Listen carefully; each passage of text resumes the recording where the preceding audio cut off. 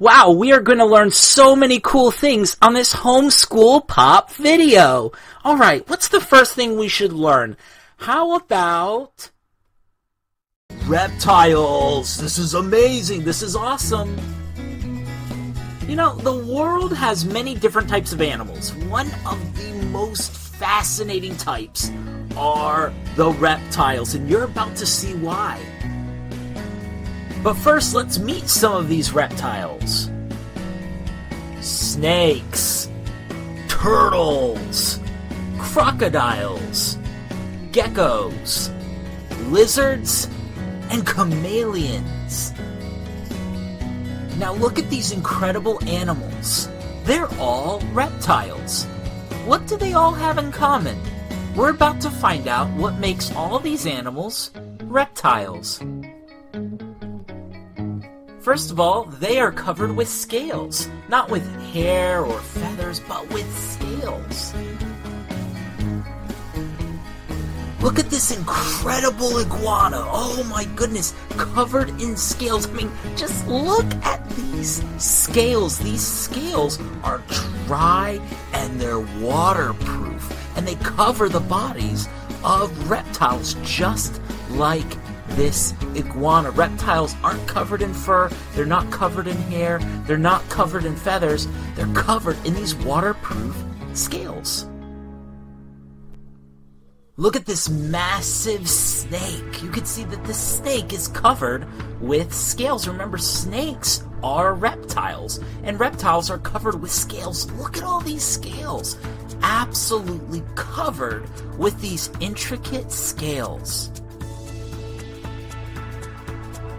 Here's an interesting example of scales. This is an albino alligator, which means the alligator is very pale. And you can see that this alligator is covered with scales, but the alligator also has these bony plates on his back. You can kind of see them there in the corner. Those are not scales, but reptiles also can have those bony plates, but this alligator is still covered with scales scales are a big clue that an animal is a reptile. The second thing you need to know about reptiles is reptiles breathe in oxygen. Just like we breathe in oxygen, reptiles have to breathe in oxygen to survive. Now, just like people, reptiles have two lungs in their body. Lungs bring in new air and pump out the old air. Even reptiles that live in and near water, like crocodiles and alligators, have to breathe in air to survive. Now, this is so fascinating. Did you know reptiles are cold blooded? Cold blooded means that their bodies don't keep them warm automatically, they have to have sunlight to keep them warm. Here's a picture of a lizard that's soaking in some sunlight. This is very important for this lizard because, as with all the other reptiles, this lizard is cold blooded. That means that the temperature of the lizard needs to have sunlight to keep it warm. It doesn't warm automatically. This lizard is cold blooded.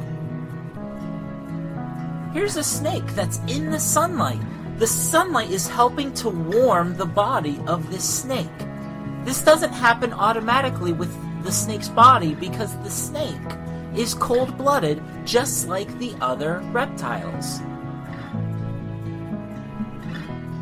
Hey, here's a picture of a chameleon. Chameleons are just so cool. Now, of course, this chameleon is cold blooded because all the reptiles are cold blooded. If they want to get warmer, they have to go to the sunlight because their bodies don't warm them. They're cold blooded. Wow, I mean, right? I mean, these are incredible creatures. You know, reptiles, they're covered in these dry, waterproof scales. They breathe in oxygen with those two lungs like we do. They're cold blooded, which is so fascinating. Can you imagine having to lay out in the sun if you wanted to warm your body instead of your body being able to do it on its own? These are fascinating creatures. Hey, do you have a favorite reptile? It's okay, you don't have to tell me, but. Cool. Very cool. Yeah, it's, you know, you figure snakes, turtles, crocodiles, alligators, geckos, lizards, chameleons, I mean, reptiles are just the coolest, aren't they? I mean, they're they're just absolutely amazing. Oh, this is such a heavy cart. Oh my goodness. Oh, it's hard work. You know, a lot of times learning can be hard work too, but we hope that these videos are really helpful and make learning fun so that learning isn't hard like pushing this cart. Oh my goodness. Alright, uh, what's the next thing we should learn about? Let's learn about Sharks, huh? Sharks! This is a video so many of you have asked for. It's time. It's time for the shark video! Sharks are an amazing type of fish in the ocean. Isn't that interesting? Sharks are fish. Sharks are amazing fish. Now, the picture most of us have in our minds when we think of sharks isn't always the case. You see, there are 440 types of sharks, and they can be quite different from one another. For example, the whale shark is the largest type of shark. It gets over 40 feet long. Wow! But the dwarf lantern shark is the smallest shark. It is only about 6 inches and can fit in your hand. You know? Wow, this is not what most people picture when they picture a shark. But the dwarf lantern shark is just as much a shark as the whale shark is. Remember, there are 440 types of sharks, so they don't all look like this guy, you know? Here's the thing even though there are so many different types of sharks, all sharks have certain things in common. For example, sharks don't have any bones. The skeleton of a shark is made of cartilage. That goes for all sharks. Sharks don't have bones. And it's interesting because most other fish do have bones, but sharks don't. Okay, so the skeleton of a shark is made of cartilage, but what is cartilage? What does that mean? What is cartilage?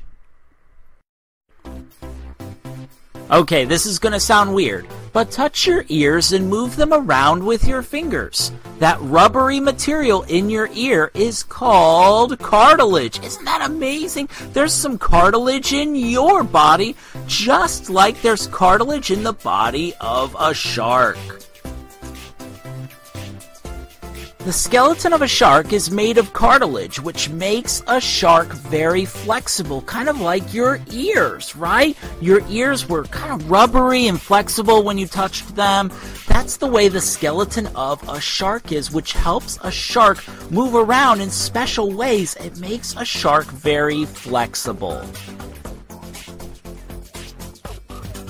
Hey, you want to know what's not flexible? Shark's teeth. Huh. Shark's teeth. This is interesting. A shark uses its teeth to bite, but not to chew. Whatever they bite that goes into their mouths, sharks swallow whole. We use our teeth not just to bite, but to chew. But a shark only uses its teeth to bite. And a shark can have a lot of teeth in its lifetime. Now, here's the crazy part a shark may have as many as 20,000 teeth during its life. There are rows of replacement teeth that, in case a tooth gets broken or falls off and gets lost, a new tooth emerges. Now, we've already mentioned there are 440 types of sharks. In fact, you're probably sick of hearing the fact that there are 440 types of sharks. How many types of sharks are there? How many? Okay, 440. All right, we're going to just show you four of our favorites. There are a lot of other cool sharks. We're missing a lot of them. we're going to show you four sharks right now so that if you see these sharks in the future, you'll be like, oh, I know what type of shark that is. The first shark is the whale shark, and we've already talked about how the whale shark is the largest shark in the world. Yeah, but what's cool about whale sharks, they have these white spots, and they're very gentle. So even though they're huge, they're very gentle. In fact, some whale sharks have even let divers sit on top of them. How would you like to ride a whale shark? What? Next, we're going to show you the great white shark, perhaps the most famous shark of them all. This is the shark that most people think of when they think of sharks, and the great white shark is really intense 23 feet long, and they eat all kinds of things dolphins, sea lions, whales, seals, and even other sharks. Next is the hammerhead shark, which gets its name because its head looks like a hammer, which it kind of sounds like a mean name. Like, you know, some of the other sharks were like, hey, hammerhead. And he was like, hey, you know, don't call me that. But, you know, the name kind of stuck. The hammerhead shark, it's interesting, that's actually an advantage for the hammerhead shark. It helps with the swimming and also helps with the eyesight. The eyesight of the hammerhead shark is much better, especially at gauging distance, than other sharks. Finally, there's the thresher shark. The thresher shark is a very strong shark known for its very, very long tail. And that tail can be huge. In fact, the tail of a thresher shark can weigh as many as 300 pounds or more. Wow, the thresher shark. Those are just four amazing types of sharks. We left out so many, but just understand sharks are incredible creatures, and as humans, we need sharks. A lot of people don't realize how much we need sharks. You see, sharks have an important job, a very important job, and it's not babysitting fish because, Fred, I don't trust you with Henry. I really don't. I really don't think that you can be trusted with Henry because I think what we're looking at here is a snack time, alright? And uh, you're, you're just not the best babysitter, okay? I don't really trust that Henry's gonna make it through, okay? So, what is a shark's important job? What do sharks do? Here's their job sharks balance the ocean ecosystem. The ocean just wouldn't run as well without sharks, and there are a lot of ways that sharks balance the ocean ecosystem, but we're going to give you one specific way just so you can see how important sharks are. So here is our example. Sharks feed on herbivores that eat coral reef. And you might say, well, how does that impact us? How is that important? Well, in places where there aren't enough sharks, coral reef has been wiped out and it's replaced with this gross, nasty algae. It's not just coral reef that gets affected. All different types of creatures in the ocean would be affected by that. The balance is held together by these amazing fish called sharks with a skeleton made of cartilage that work hard to balance the ocean. Even though they don't realize what they're doing, they're helping maintain the diversity and the beauty of the ocean. Now, here's the sad part 100 million sharks are killed every year by people. Think about that. 100 million sharks are killed every year by people. Thankfully, there are organizations that are working to protect sharks. We need sharks. Sharks aren't bad, they're not mean, they're not evil. They balance the ocean ecosystem. They have a very important job, and they need to be left alone and they need to be protected. One final note before we leave. You know, a lot of people misunderstand sharks and think that sharks are mean. But sharks don't like biting people. When a shark bites someone, it is because they think that that person is a sea creature. In other words, sharks like to leave us alone and they want to be left alone. We can protect them. You know, they have an important job to do, and let's be honest, they're super cool. We appreciate you watching our video on sharks, and we hope to see you next video.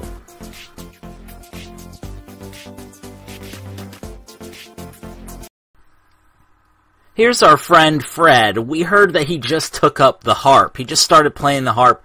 Fred, we can't we can't hear you. We're having audio problems with Fred right now. Fred, you look so happy playing. We we can't hear you, okay? You got you got to wear your mic or something. We can't hear the music. Oh, he doesn't even know.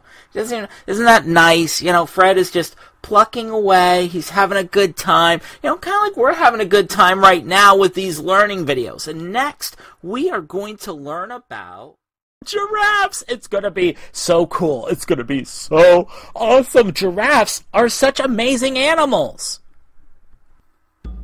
Okay, so what are giraffes? Well, giraffes are tall mammals that are from Africa. Here's a mommy giraffe and a baby giraffe in Africa. How cute a little giraffe family. Giraffes are tall mammals that are from Africa.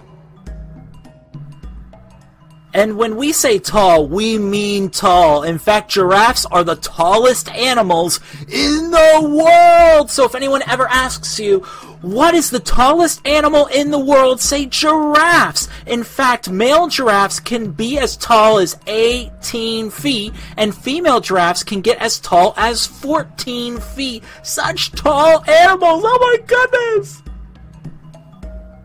So much of that height comes from their long necks, and giraffes are famous for their necks. You know, this giraffe is literally sticking his neck out there and being like, hey, what's going on? Hey, you're learning about us right now? Homeschool Pop? Huh? Huh? Yeah, I can see. Yeah, I got a long neck. Uh huh. I'm watching you right now.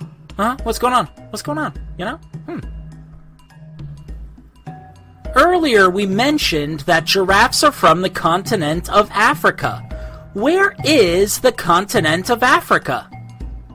Do you know? Uh huh. Right here is the continent of Africa. That's where giraffes are from. Africa is the only continent where giraffes live in the wild. Speaking of the wild, how many giraffes live in the wild? That's a good question. Do you have a guess? How many giraffes live in the wild? Hmm. Well, about 97,000 giraffes live in the wild. That might sound like a lot, but the number of giraffes living in the wild has been going down, which is why it's so great that there are laws that protect giraffes. It is illegal to hunt giraffes. In addition to the giraffes that live in the wild, about 1,100 giraffes live in captivity. That means they live in a place where they are held and kept by people, places like the zoo. Have you ever seen a giraffe at the zoo before? Thanks for sharing. Wow, do you see how long this giraffe's tongue is? The tongue of a giraffe can be as long as 20 inches, which is perfect for grabbing food out of tall trees. Speaking of what giraffes eat, giraffes are herbivores. What is a herbivore? Uh huh. Herbivores are animals that just eat plants. Giraffes are herbivores. They only eat plants. They don't eat other animals. Like the babies of all of the other mammals, baby giraffes drink milk. Baby giraffes are called calves. Calves don't eat plants until they are about three weeks old. Oh, little calf drinking your milk. And when you're three weeks old, then you can eat plants. But now you just drink the milk. Oh, this is awkward. Um, Mr. Whiskers, I'm I'm sorry. I know I normally talk to you that way. You know, that's that's the voice I use with you, but I talk to baby giraffes called calves that way too. Um, but yeah, this this is weird. I yeah. Let's just let's just move on. Let's let's just move on, okay? Now is the time for our final giraffe fact. And hey, this giraffe doesn't have to look that excited. I mean, this has been a fun video. You don't have to be happy that this is our final fact, okay? And why are you wearing a t-shirt? So here it is. Most giraffes only need about 30 minutes of sleep a day to survive. That's it. Wow. Giraffes can sleep sitting on the ground or they can sleep standing up. In the wild, they usually sleep standing up just in case there's a predator that's trying to get them. They could wake up and go ahead and try to make a getaway. But even as they sleep, oftentimes they'll have one eye open just to be careful. This is nice. A giraffe family. I mean, Junior has way too much energy. Do you remember what baby giraffes are called? Uh huh. Calves. Uh huh. So this calf, you know, just has has a lot of energy. But oh, how much fun learning about the tallest animals in the world, giraffes. Oh, so great. We hope you had a great time. You'll share these facts with others. Okay, Junior, you can stop jumping now. And uh, these parents aren't going to step in, are they? You can stop jump. All right, all right. Keep jumping. Jump all day. Jump all day. See what happens. Okay. My goodness, giraffes. Giraffes.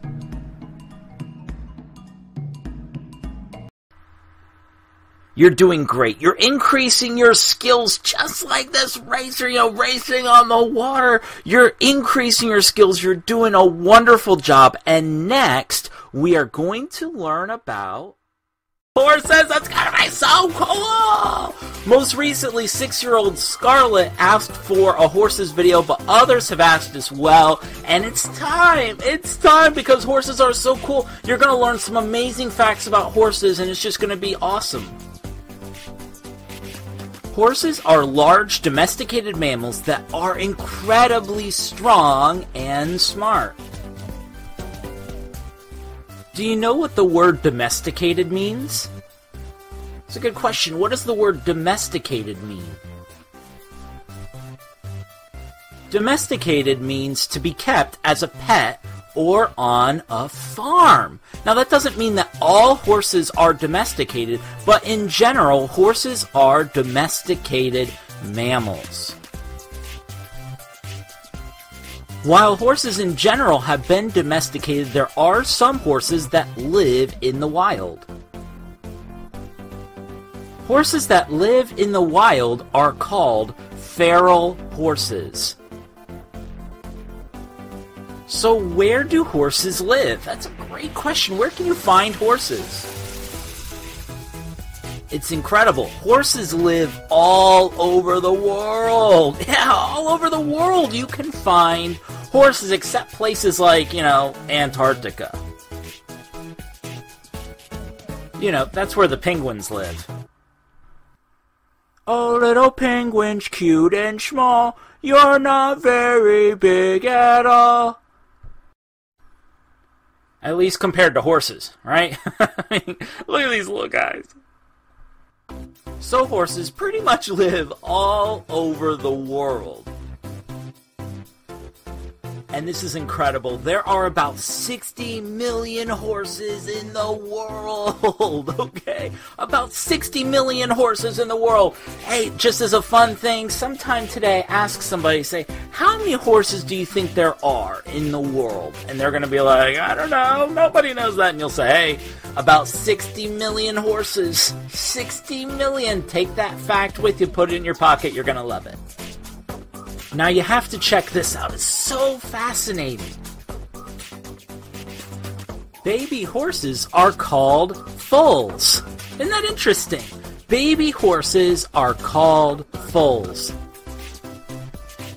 Foals are fascinating. Did you know they can stand shortly after birth and can even run just two hours after birth? Two hours after they're born, they can literally run. Now, it's a very wobbly run, but they can run shortly after being born. It's absolutely incredible.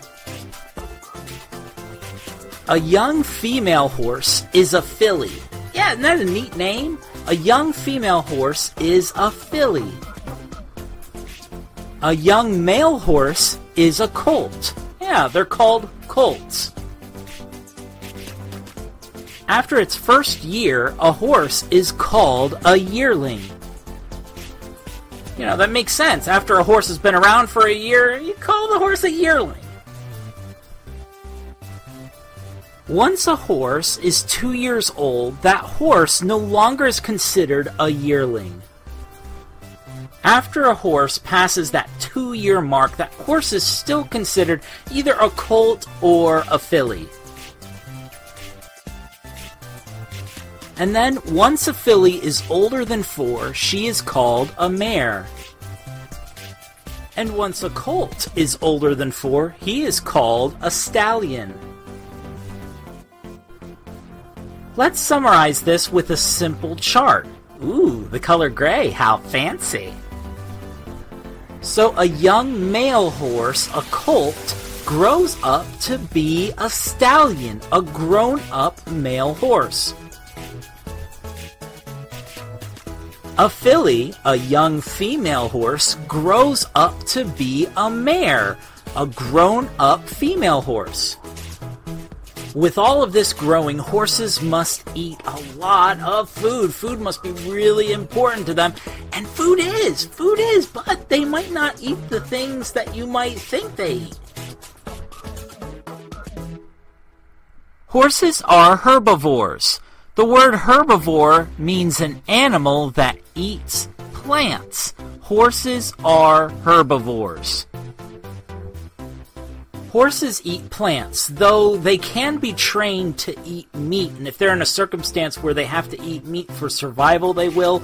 Or if they're given meat over a regular period of time, they could be like, oh, this is food too. But they are herbivores. They are animals that naturally eat plants. They love plants. They could be so healthy and so strong without ever having to eat meat.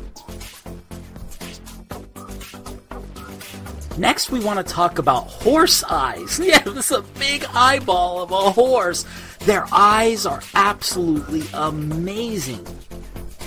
Of course, your eyes have to be uncovered for you to see. Ah, somebody get a somebody get a comb. The, the horse can't. The eyes are covered. The eyes are covered. This is like the worst picture for us to show. When we're talking about the eyes, we can't even see the eyes of this horse. A horse's eyes are amazing. They can see in just about every single direction except directly behind them, and interestingly enough, directly in front of them. Which, if that doesn't sound impressive, it definitely should, because they can literally see every single direction other than those. I mean, they can see just about everything. Their eyes are amazing. But seriously, kids, do not stand directly behind a horse. That is totally serious because the horse can't see there, and if that horse hears a sound that you make, that horse could actually kick you and hurt you, and the horse doesn't want to hurt you. So please do not stand directly behind a horse. Ever. Okay? Because horses are so strong. You could see all the muscles on this horse. This horse is so strong. That's why horses have been used for thousands and thousands of years to pull heavy things, including carriages with people in it, all kinds of heavy things. Horses are so strong and powerful, and this horse is just literally taking a nap, lying down and just sleeping because horses can fall asleep lying down or standing up. In fact, I bet this horse is napping. Ah, that's what it. I bet. I bet this horse is napping. You're napping through our video. hey, did you know? Ponies are smaller types of horses. You may have been watching this video and thought, when are they going to bring up the ponies, right? I love the ponies. Even though a pony's body is a little different as far as size goes, a pony is very, very similar to any other horse, being incredibly strong and incredibly smart. Which brings us to our final fact. Horses are incredibly smart. They're incredibly smart. Horses are able to communicate with each other through sounds and facial expressions. And horses have amazing problem solving skills that can get them out of all kinds of jams. And sometimes they can get them in trouble too. What amazing animals horses are. Hey, Petey. I know, I know, I heard about your plane. You know, it's a cool plane, you know, and, and it's, it's neat. I, I don't know if it flies or you, you look pretty confident that it's gonna fly, which is cool. Yeah, I, I see you. Hello. Hello. Yeah, thanks for waving. Thanks for saying hello. You know, we're actually in the middle of learning. We're, we're in the middle of learning a lot of new cool things right now. So I actually do have to go. Hi, you're still waving. Okay. Um, we're gonna go uh, because now we need to learn about penguins, and this is a video idea from Micah, who's six years old from Maynardville, Tennessee. So thank you, Micah. Penguins are birds. They are known for their black and white feathers. Look at them hanging out in this cold climate. They're having a great time. Really social birds. They're just chilling. They're hanging out. They're penguins. They're birds with black and white feathers. Now, in addition to their black and white feathers, penguins are also known for how they waddle. Isn't it funny? The way penguins waddle is fascinating. Do you know how to do that? If you're able to, could you waddle right now? Yeah, just stand up. Yeah, and waddle. just from this side to this side. It's a funny way that they walk, but that's how they walk. Penguins waddle. Now you might be wondering, oh man, why are they waddling? Don't they fly? Well, it's interesting because penguins are not able to fly. They're one of those types of birds that don't fly. They do have a special skill that kind of looks like flying that we're about to show you. Okay, so what is this special skill that kind of looks like flying? It's actually swimming. Penguins flap their wings when they swim, just like other birds flap their wings to fly. And you can see in this picture, they lift up their wings, then they flap down their wings, and this helps them swim. It's amazing, isn't it? It's amazing. I mean, penguins are great swimmers. In fact, penguins can spend as much as 75% of their time in the water. Some penguins spend more time in the water than above ground on the surface. Alright, here's where we need your help. Yeah, your help. Why do you think they spend so much time in the water? Have a hint here. Think about their food. What food do you think penguins enjoy eating? Another hint, it'd be in the water. What in the water do penguins like to eat? Yeah! Penguins mostly eat fish. They love going in the water, eating those fish. There's other seafood that they enjoy too, but they love their fish. And they love swimming around and hunting for them. Now, okay, here's something you already know. We all know this.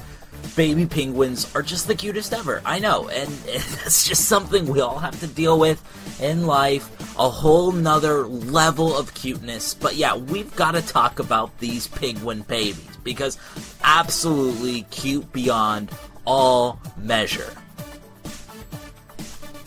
Now, like other baby birds, baby penguins hatch from eggs, and most penguins hatch two eggs at a time. You can see in this picture, there's an egg in front of this penguin, there's an egg underneath. If you look real closely, you can see that second egg.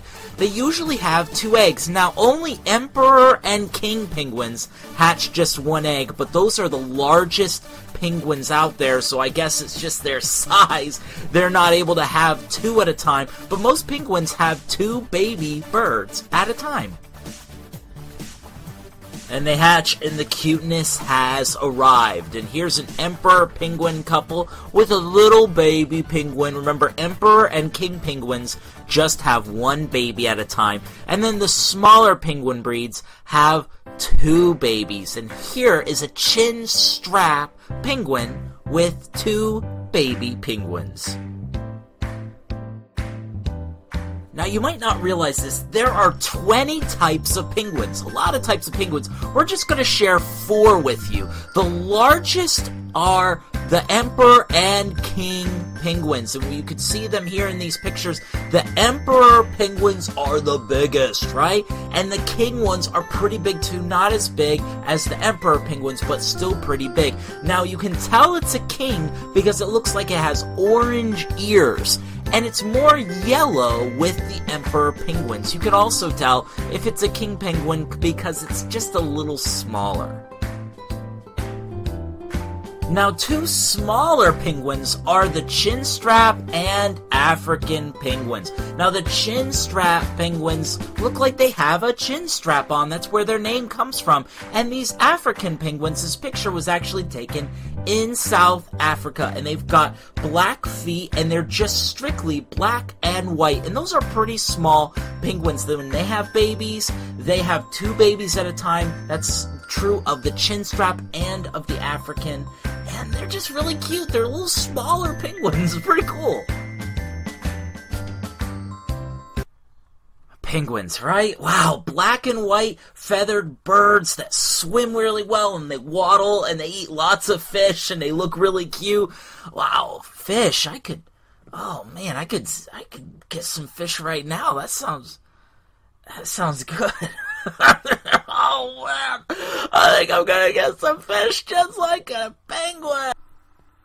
You have been doing a great job, just like Mike, who's doing these push ups. You know, he knows it's important to stay fit and to exercise and to stay healthy. And you're like exercising your mind right now, which is super cool. And next, we are going to learn about bats. Bats are so awesome. They are so cool. And you are about to find out why.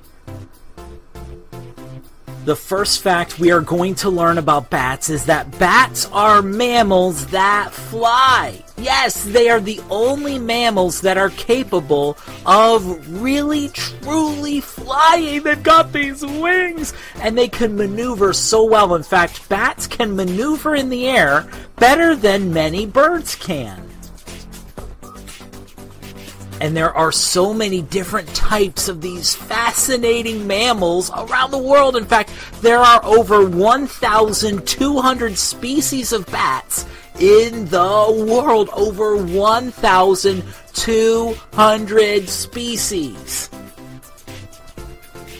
That means you could learn about a new type of bat every single day, and it would take you over three years to learn all of the different types of bats. For example, these two bats are fruit bats or flying foxes. They're called flying foxes because their faces remind people of foxes. They're almost like foxes that are flying in the air. And this is a very interesting type of bat. In fact, these bats can be as large as four pounds fruit bats, or another nickname of these bats are flying foxes, can get really huge. In fact, they are the biggest bats in the world.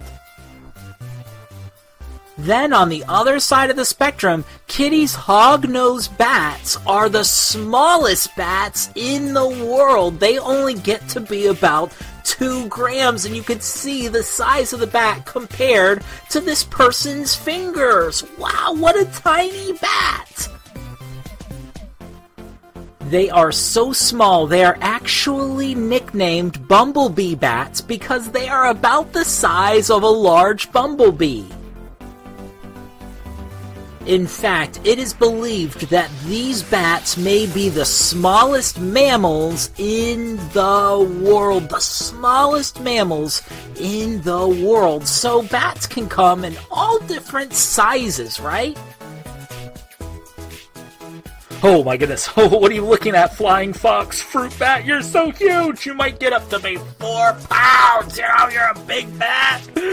And you do look like a fox! That's really weird and really cool all at the same time, you know? Bats are pretty cool. You know, this is a fruit bat or a flying fox, you know?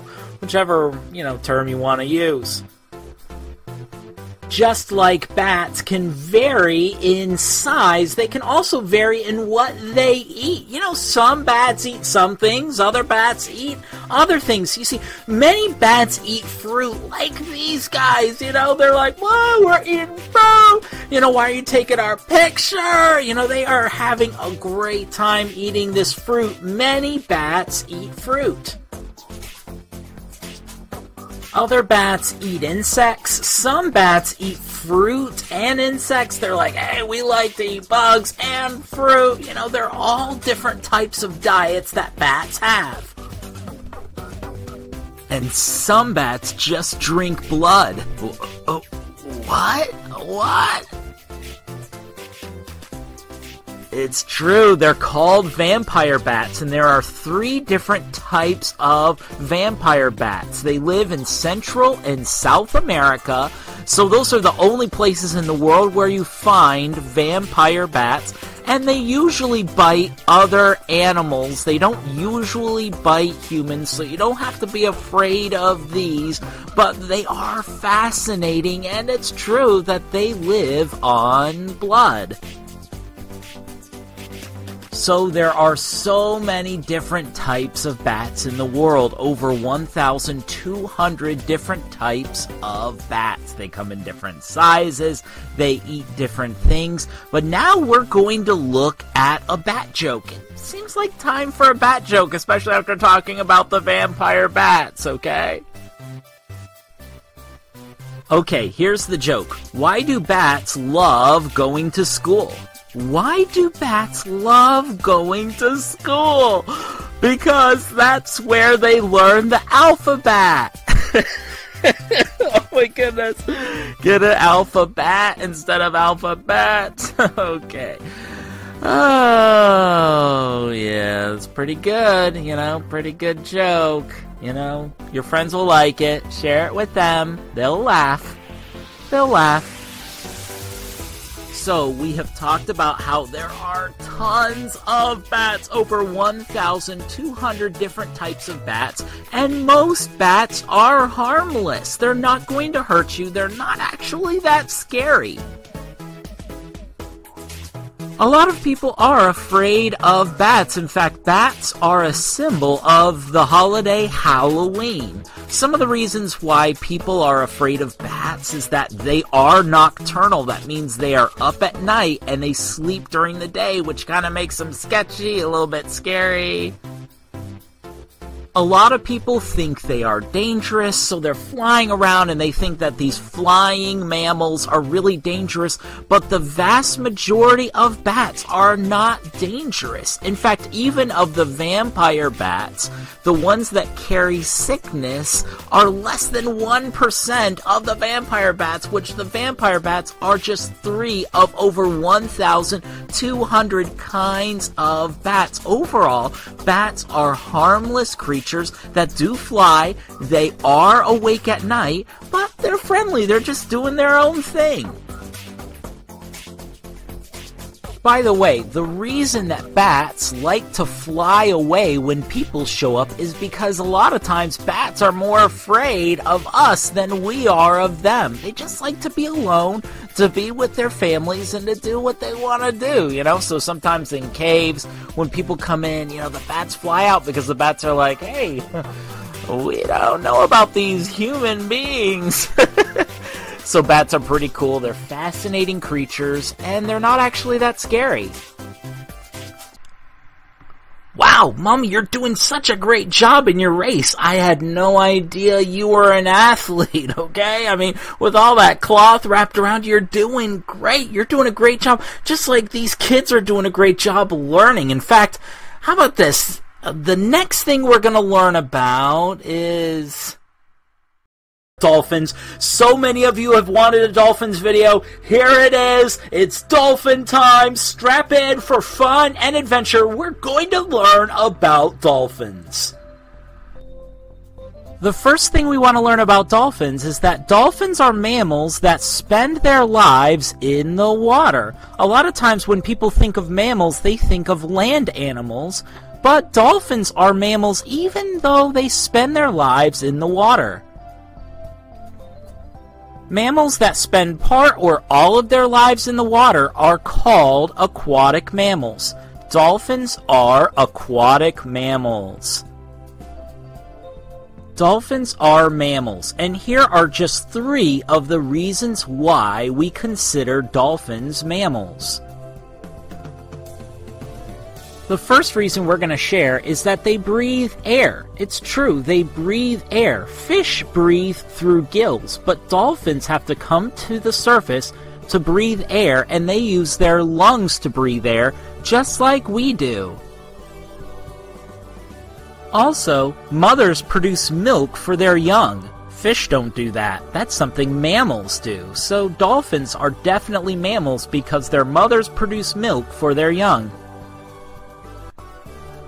Dolphins are also warm blooded, like other mammals, and they're not cold blooded like fish are. When you're warm blooded, that means that your body maintains a fairly constant body temperature above your surroundings. Instead of having the same temperature as the outside world, you have a constant body temperature. There are more reasons too, like the fact that dolphins give live birth to their young. They don't lay eggs like fish do, they give live birth just like human beings do and other mammals do. Aw, dolphin family! So dolphins are aquatic mammals. That's pretty awesome. Just like other mammals, dolphins need water, but they can't drink the water around them because they're usually in salt water, right? So they get all the water they need from the fish they eat. They love eating fish. Do you like eating fish? Yeah, fish is pretty tasty, you know? We kind of eat like dolphins, right? This is interesting. A group of dolphins is called a pod or a school. Do you recognize that term school? Uh huh, that's what a group of fish is called. Mm hmm. So you could call a group of dolphins a pod or a school. Now, this is fascinating. You could really impress a lot of people by sharing this fact with them. Did you know male dolphins are called bulls? Uh huh. They're called bulls. Wow. Wow. you know, I wouldn't think they would be called a bull, but they are. Male dolphins are called bulls. It gets even more strange. You see, female dolphins are called cows. Uh huh. Not all cows say moo, you know. Female dolphins are called cows and young dolphins are called calves. You might say, why? What's the reason? we don't know. We don't know. We we don't, we're not in charge of this stuff. We just share the knowledge with you, okay? Something you might not realize about dolphins is just how smart they are. Sometimes we've seen footage of how they learn tricks very quickly. They do learn things very quickly, but they can even mimic speech patterns. They are incredibly smart. Their brains are huge for the size of their bodies, and they just have a lot going on. They're really, really, really smart. Dolphins are not only smart, they're also incredibly sweet and they're capable of empathizing with other creatures. To empathize means to understand and share the feelings of someone else. Dolphins are not only smart, they're not only caring, but they're also so cute. I mean, dolphins are just amazing, aren't they? Hey, whoa, okay, first of all, elephants don't drive, okay? Elephants can't get a driver's license, and he's driving on the grass! He's driving on the grass! You're gonna ruin the lawn! Okay, what's going on here? Alright, this is out of hand. Okay. Elephant, I don't want to tell you what you can do and what you can't do, but you can't drive, alright? Oh my goodness. Alright, next we are going to learn about.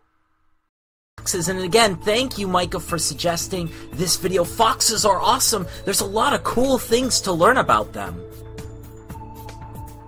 Foxes are mammals that have triangular ears, that means their ears look like triangles, a pointed nose, whiskers, and a bushy tail. Amazing looking creatures.